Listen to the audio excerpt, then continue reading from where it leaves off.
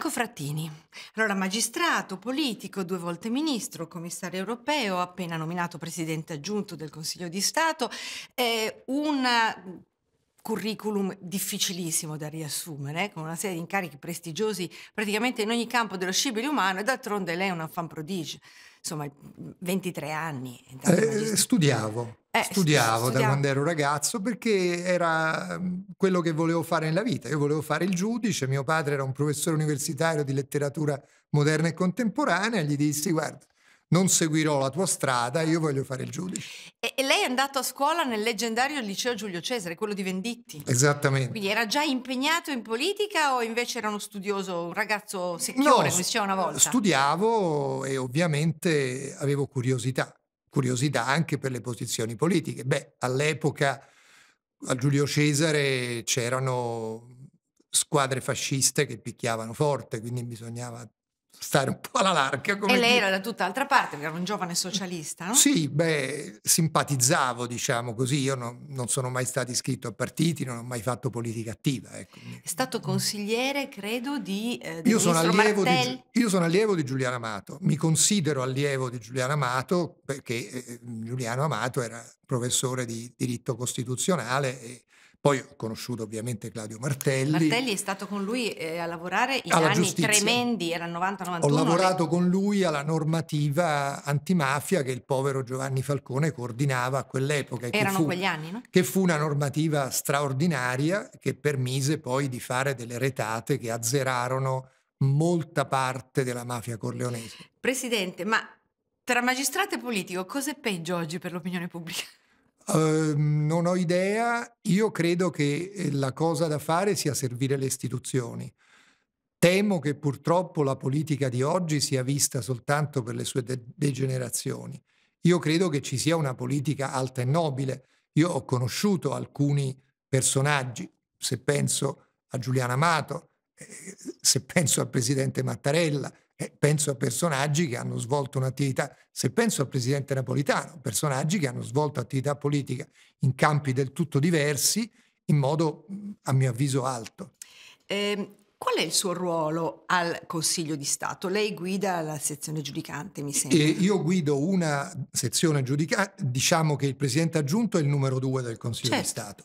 Io guido una sezione giudicante che si occupa di materie specialmente sensibili io mi occupo di infiltrazioni mafiose nell'economia legale, cioè giudichiamo se è legittimo o non è legittimo, eh, come dire, precludere a un'azienda in sospetto di mafia di operare su un territorio. Poi mi occupo dell'intera sanità pubblica, se un appalto dalle siringhe alla costruzione di un ospedale è legittimo o non è legittimo. E poi mi occupo di un settore particolarmente importante che è quello, eh, diciamo così, della, um, dei diritti delle persone, dei diritti fondamentali. Noi abbiamo deciso questioni delicatissime come quella della possibilità di eh, omologare un matrimonio tra omosessuali oppure no temi di, gen- temi di questo tipo. Sì, era, era, anche una domanda quella sul DDL Zani in discussione in questo tempo, ma eh, andiamo un attimo per ordine. Lei mi stava accennando alle infiltrazioni mafiose, c'è sì. stato un aumento in quest'ultimo un, periodo? Un grande aumento, io di- direi che dall'inizio del periodo Covid eh, ho registrato un aumento che è tra il 16 e il 18% delle cause per interdittiva il che è sintomatico, stesso, eh, la stessa ministra Lamorgese lo ha pubblicamente riconosciuto, di una eh, penetrazione di mafie sempre più in un terreno di piccola economia. La Perché piccola... adesso maggiormente? Manca la liquidità, ah. eh, le persone sono disperate e, e chiaramente oggi, lo dico così, è una mafia che uccide di meno, ma che vuole controllare i meccanismi dell'economia. Le faccio un esempio, noi abbiamo sciolto per mafia, dichiarando legittimo lo scioglimento, il comune di Brescello, quello di Don Camillo e di Peppone, in provincia di Reggio Emilia, sciolto per mafia, per penetrazioni mafiose. Chi avrebbe mai potuto pensarlo? Eh, rivado eh, con la memoria, eh, Presidente, al tempo in cui insomma, lei ha avuto una lunghissima carriera politica, poi ha scelto di lasciare la politica, ma è cominciato dal Consiglio Comunale di Roma praticamente, fino ad arrivare a Ministro degli Esteri. Durante il suo primo mandato l'Italia partecipò, anche se non militarmente, alla, all'invasione dell'Iraq da parte degli Stati Uniti di George W. Bush. Ecco, ex post fu una decisione giusta? Eh, ex post sicuramente no, eh, ma il primo ad essere ingannato fu proprio il segretario di Stato americano, un grandissimo personaggio, il generale Colin Powell, che portò in Consiglio di sicurezza la famosa pistola fumante che purtroppo non corrispondeva alla verità perché a lui avevano dato dati non veri.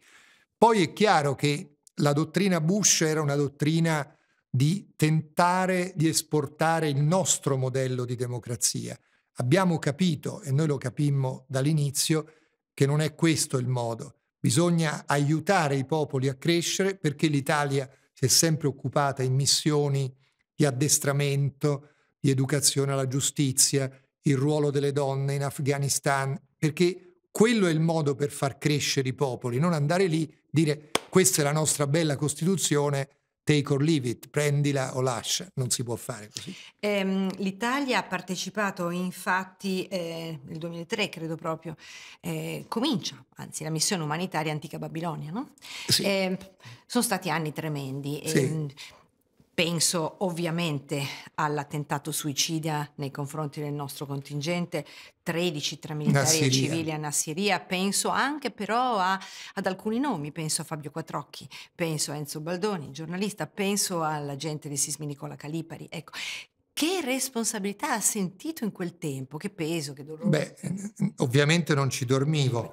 La, la notte in cui dovemmo decidere eh, il blitz che liberò gli altri tre, perché Quattrocchi era stato ucciso, come ricordiamo, gli altri tre furono salvati e le forze eh, anglo-americane ci dettero tutti i dettagli, ma dissero prima di agire, visto che è rischioso, ci dovete dare il via libera. Ovviamente non abbiamo dormito e il Presidente del Consiglio mi autorizzò a dare il via libera e fortunatamente li salvammo, Stefio, Cupertino e però ogni volta che c'era un episodio del genere noi eh, avevamo, io andai a trattare con gli ulema in una grande moschea, in un luogo di cui è bene non parlare, per la liberazione delle famose, tra virgolette, due Simone che erano state catturate e prese in ostaggio, perché eh, eh capii che se non vai da coloro che sono dietro queste azioni,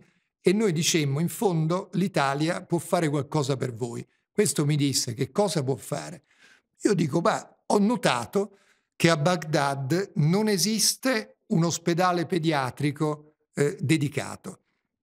Con i soldi della cooperazione creammo un ospedale per i bambini a Baghdad e la telemedicina con il Gaslini di Genova per quelli che non potevano essere non fu solo per quello che le liberarono, ma perché noi siamo l'Italia anche per questo. Eh, che immagine ha l'Italia all'estero, nel contesto internazionale? Non mi riferisco naturalmente a bande di terroristi.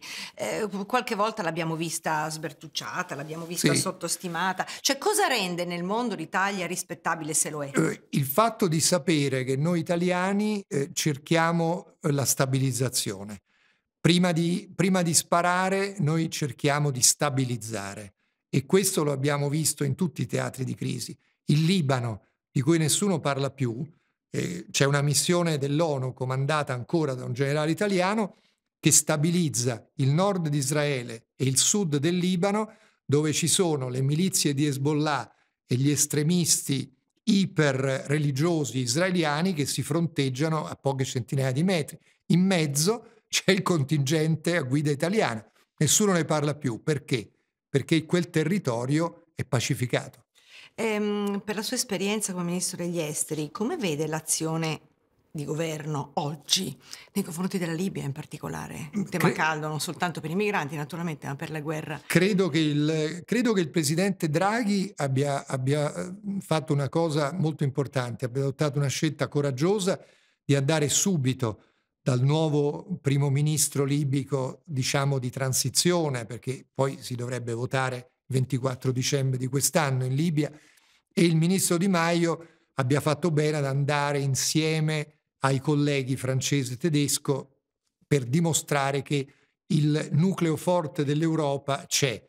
Tutt'altra cosa è se la Libia rimarrà una Libia o vi saranno due Libie, perché è un po' difficile far immaginare ai, a coloro che sono sul campo che domani la Turchia, che ha 5.000 uomini che proteggono Tripoli e la Russia che ne ha altrettanto che proteggono la Cirenaica salutino e mettano tutti nelle mani. Eh, la, dolente, la, dolente, nota della Turchia bisogna toccarla, cioè sì. l'Italia ha avuto un'azione durissima, forse sì. una delle, de, de, un scatto d'orgoglio, devo dire.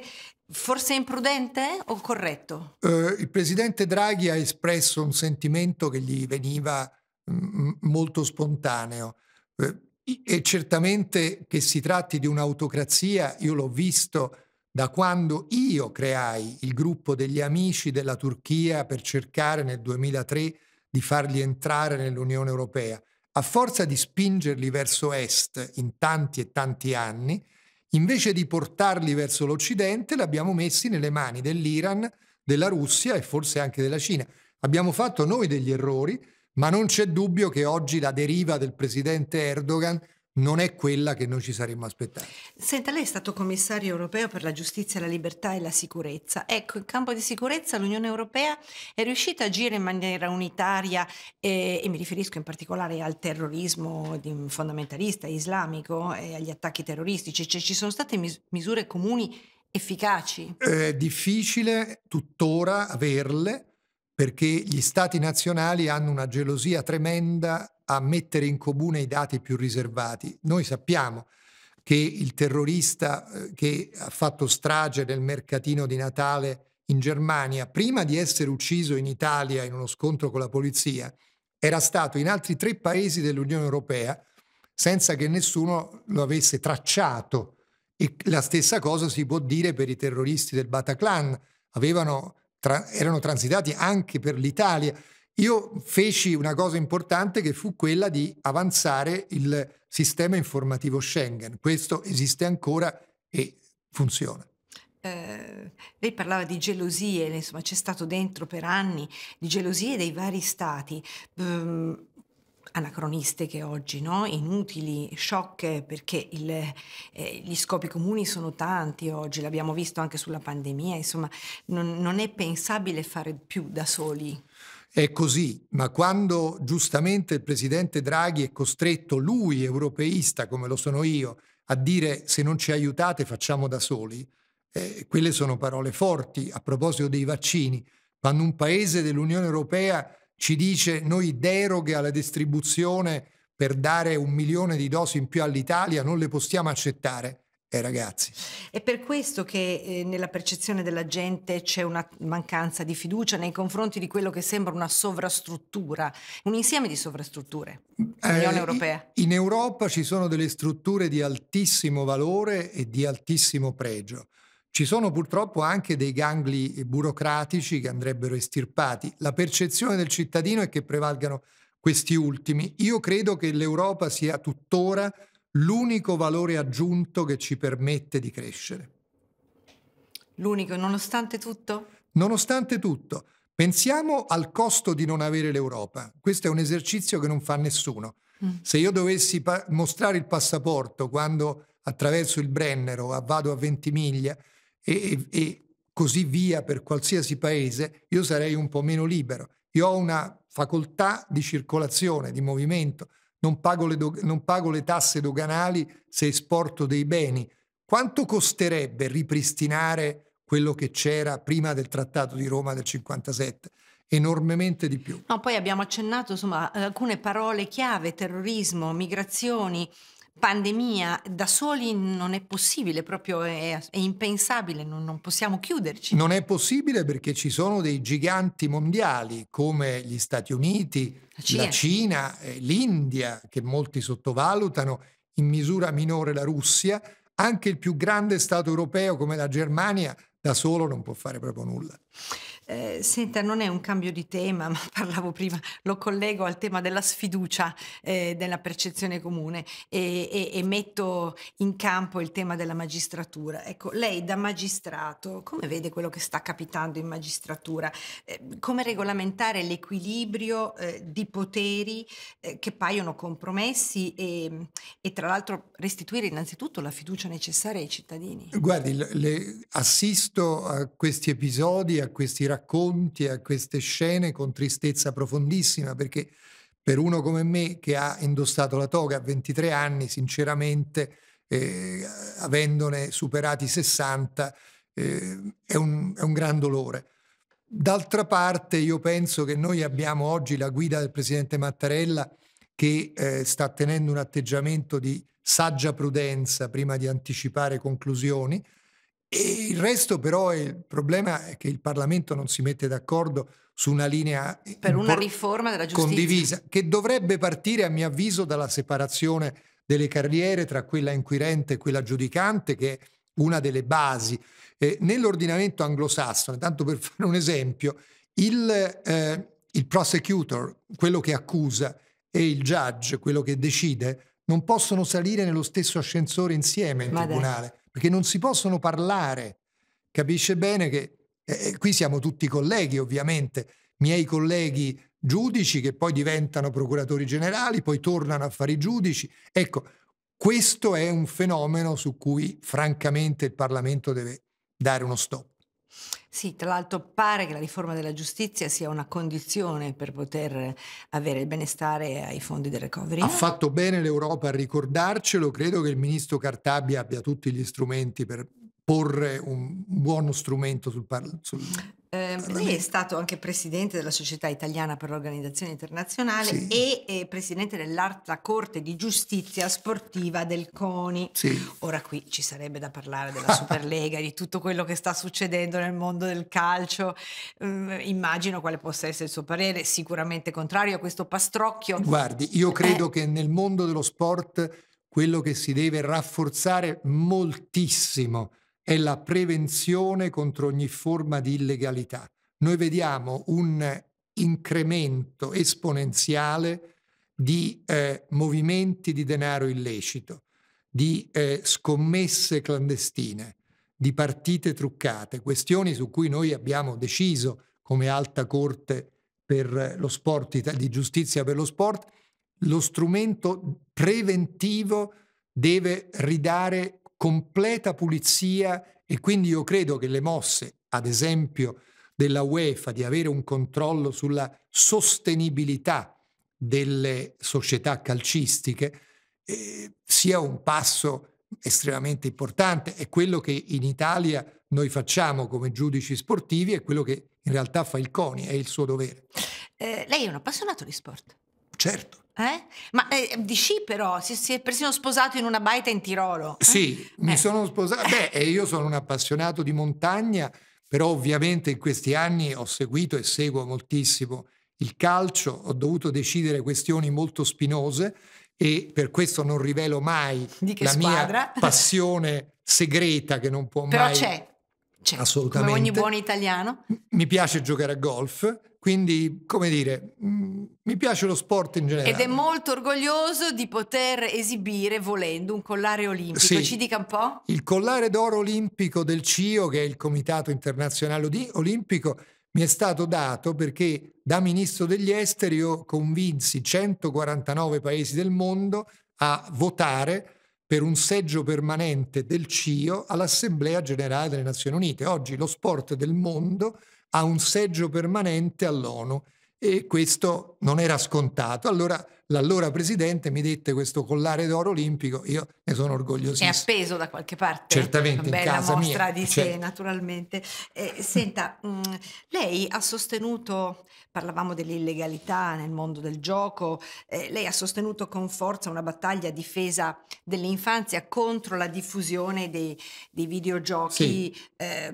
che sono sempre più violenti, sì, no? Sì. Eh, è una sfida che si può vincere e la metto in parallelo a un'altra battaglia che l'ha vista protagonista, cioè delle cosiddette parole pericolose, anche qui violente in rete. Sì. Cioè, è possibile attuare delle forme di censura ed è giusto soprattutto? Guardi, io iniziai questa sfida da commissario europeo, ero commissario alla giustizia alla sicurezza e ai diritti fondamentali e ci trovammo a lavorare in rete con le polizie postali d'Europa e trovammo, tanto per darle soltanto un esempio, ma non di ieri, del 2007, di un videogioco il cui obiettivo è quanti israeliani riesce ad uccidere, creato da organizzazioni terroristiche jihadiste che diffondono un video che cade nelle mani di chissà quanti bambini nel mondo arabo, ovviamente lo togliemmo immediatamente dalla rete perché era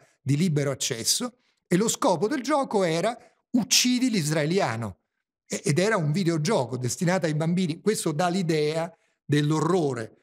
La pedofilia online, un altro cancro terribile che non siamo riusciti ad estirpare, e poi certe parole che, come dire, incitano all'odio.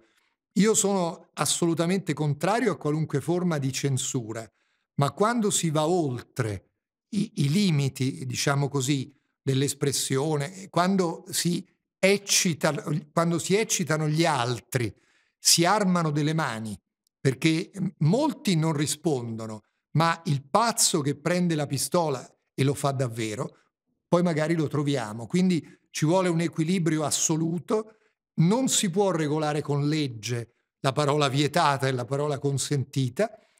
Purtroppo è un lavoro che tocca ai magistrati in molti casi ed è un lavoro forse il più difficile di tutti. Anche qui non dovrebbe esserci una concertazione a livello europeo?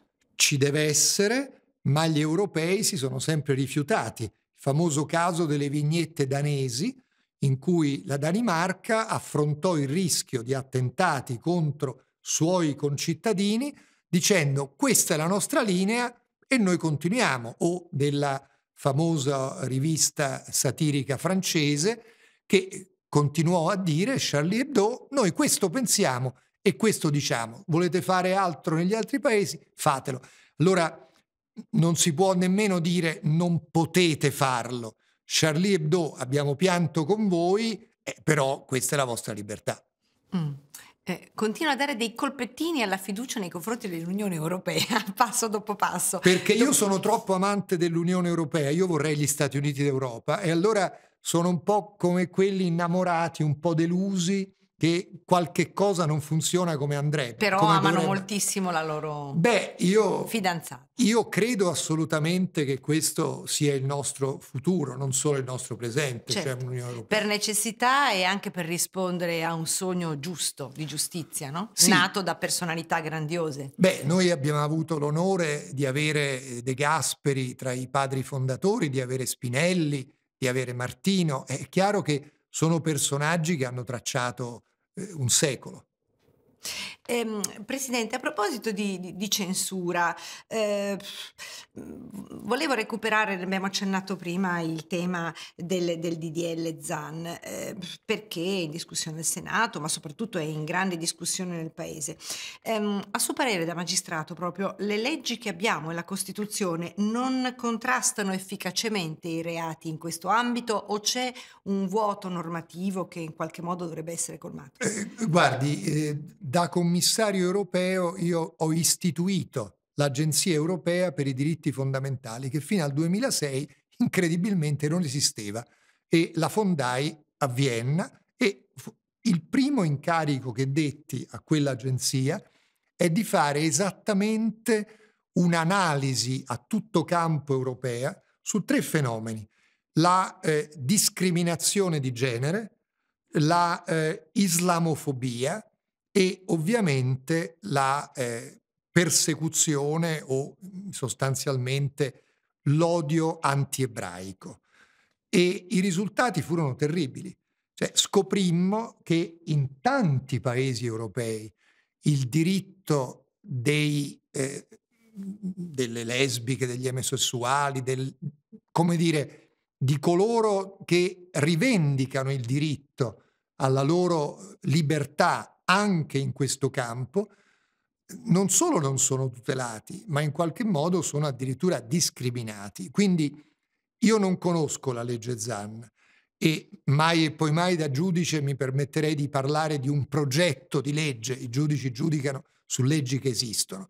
Dico soltanto, dico soltanto che non si può far diventare una legge lo strumento per colpire un avversario politico. Quindi io credo che il diritto individuale di ogni persona sia in quello che lui si sente.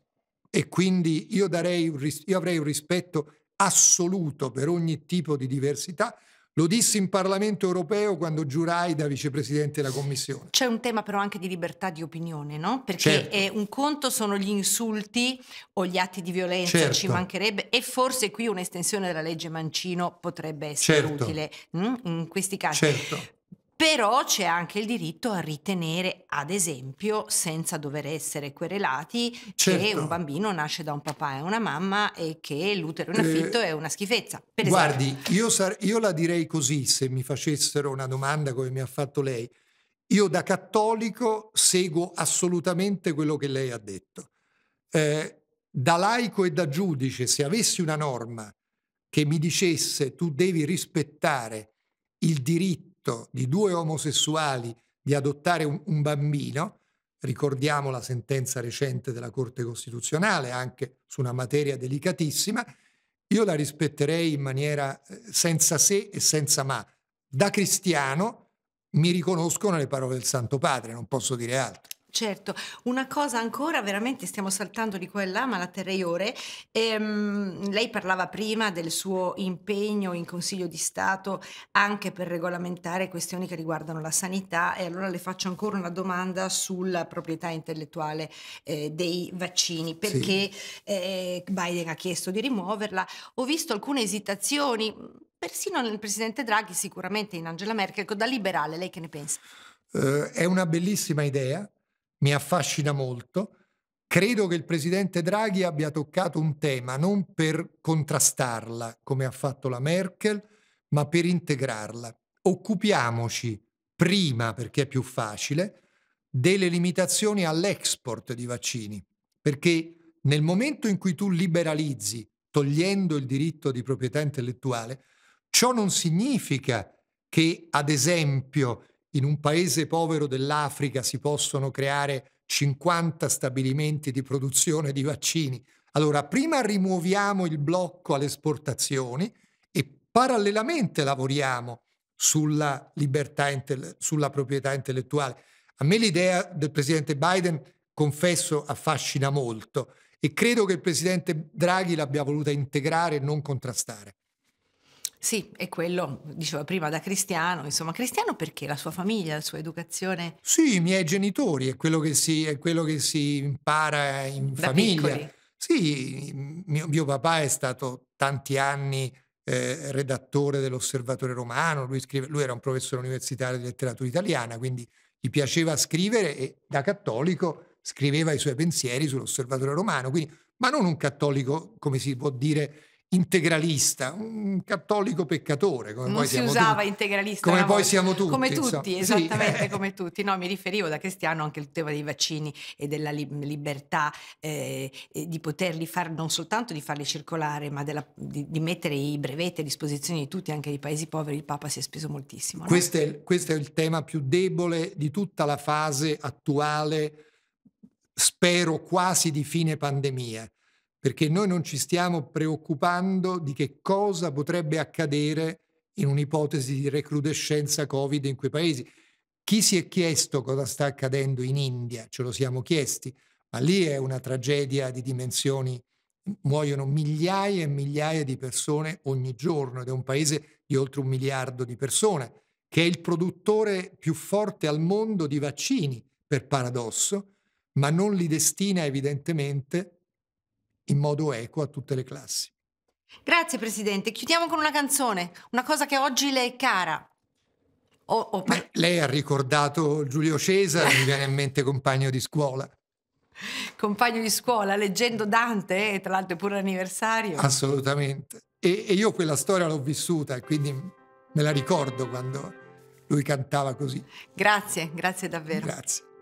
Davanti alla scuola.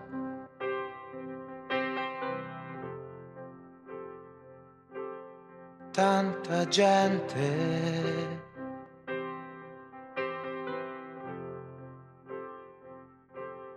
Otto e venti, prima campana e spegni quella sigaretta.